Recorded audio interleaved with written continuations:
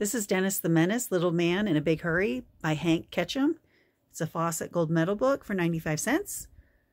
And this is from my childhood, and it's looking a little rough here. Yeah, but after the cake was gone, you'd still be married. The best part about doing nothing is you can quit anytime you want to.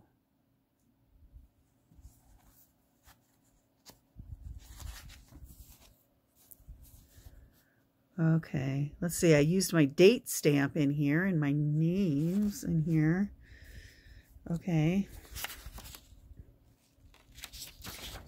Okay, this can be hard. The pages are coming apart. First printing March 1976. Okay, the pages are loose, so let's see. I'll go kind of in the middle.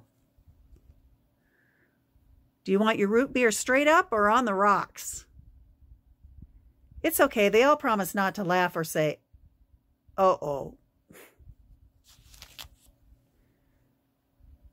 If somebody sees sues you, does it hurt? You're not going to believe all the things that went wrong today.